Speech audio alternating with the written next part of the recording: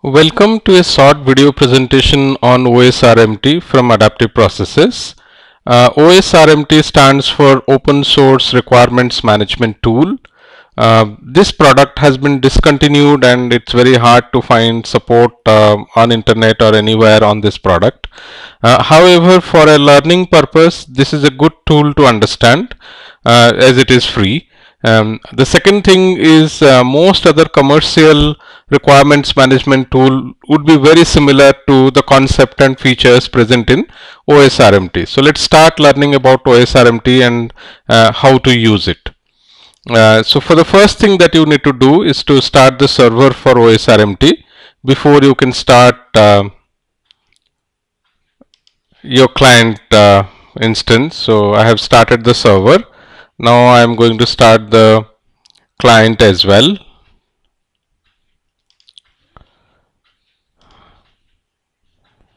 So it may take a little while. Just okay now it's starting up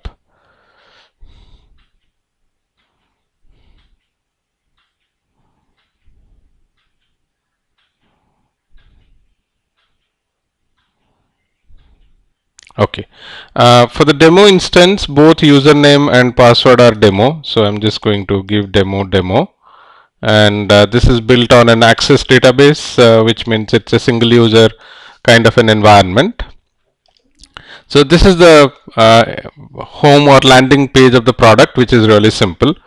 Uh, for simplicity I have created a product uh, called GRC Perfect. So I'm just opening that product and uh, if you see here uh, you have four or five levels of connectivity for traceability. You have something called a feature uh, which is a high level requirement then requirement then design then implementation and then test cases. So you can create uh, all these items in MS uh, in OSRMT. So you can uh, develop a feature, you can write a requirement, you can make a design element, you can make an implementation element and you can link all of them through the product. So for example, uh, here we are discussing one uh, feature called MPP integration which stands for Microsoft Project Plan Integration. So this is a requirement or a feature that uh, our product GRC Perfect has. Uh, so if you look at a feature, you have a feature name, you have a version number. Uh, it also gives a feature number by default and it puts a priority and puts a status on the feature. Uh, you also can have dependencies defined, uh, which I will show it little later how to do it. And you can also have a history of the feature. So the feature is fairly simple. It's like a um, user story or a product backlog, uh, something like that, which is like really a high level feature. Then we have requirements. When we come to requirements, uh, if you double click the line, uh, you similarly have a requirement description, a version, number, complexity. You can also put an effort, uh, priority, status, and you can also put assigned to category. All these requirements you can put. These are mainly the requirement attributes that we have studied in the other part of the program. Then you have a detailed step which means um, you can write some um, steps uh, about this requirement, how this requirement is used. Then you have a background where you can put some author name, origin, rationale, why this requirement is required. Uh, you also get an use case uh, um, template uh, built into the product. So you have a goal. So you can say the goal is to integrate integrate an ms project file ms project file into grc perfect. You can give a context. You can give a precondition as um, all staff uh, must be assigned to the project to the project. Context you can put saying most uh, PMs use MSP as the primary scheduling tool. And hence the need for integration. Need for integration and you can also write the steps so you can say add row. Here you can say um, go to grc perfect upload excel. Then next is select the ms project file then you can add click upload. So next step would be application.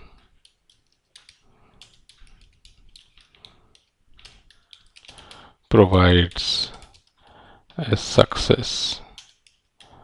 Message. The last step could be check go to schedule module and verify sorry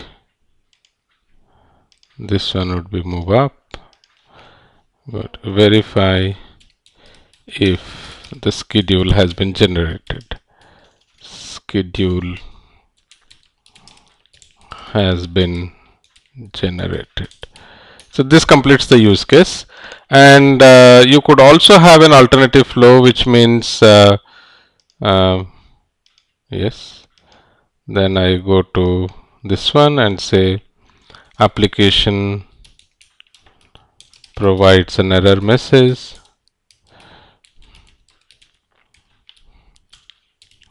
Why the file can't be uploaded? The file cannot be uploaded. So you can add another row correct data add another row try again. So post condition is uh, schedule is generated in the schedule module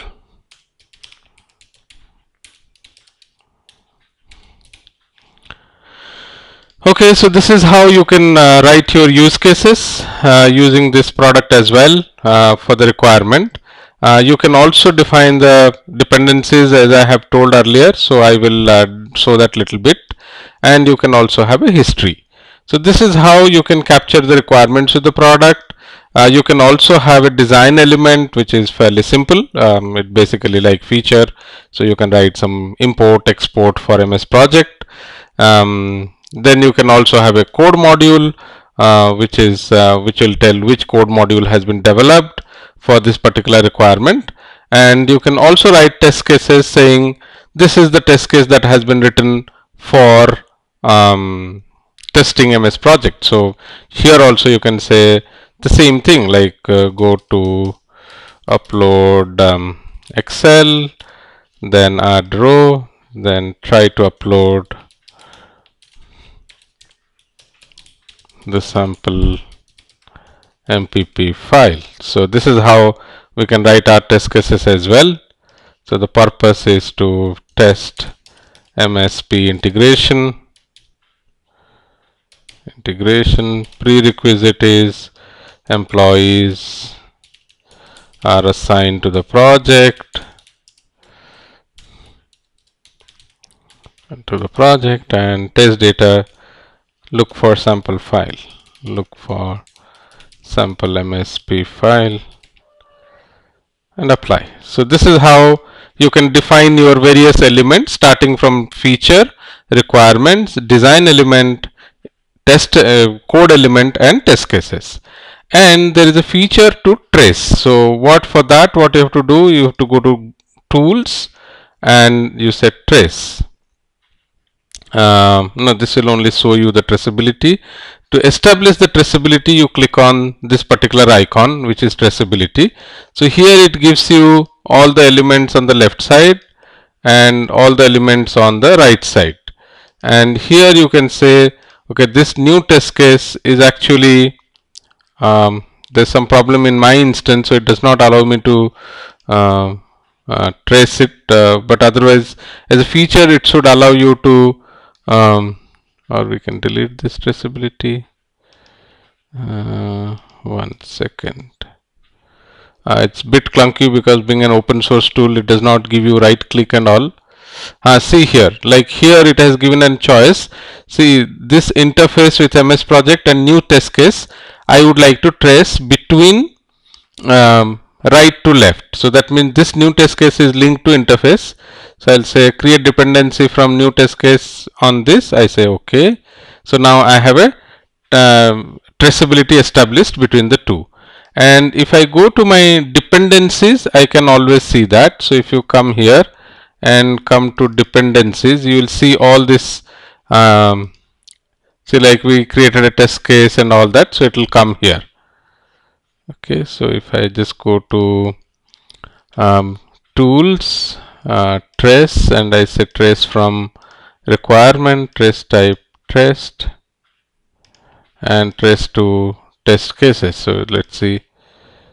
So this is what uh, has been one in, uh, tracing which I had done long back uh, but I think the new tracing it's somehow not working. So let me see here if it gives dependencies. Yeah it has given the dependency here, here also.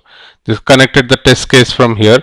Oh okay this is because it's um, the test case is dependent on um, um on the requirement but the requirement is not dependent on the test case. So it's not a bidirectional it's like a unidirectional thing.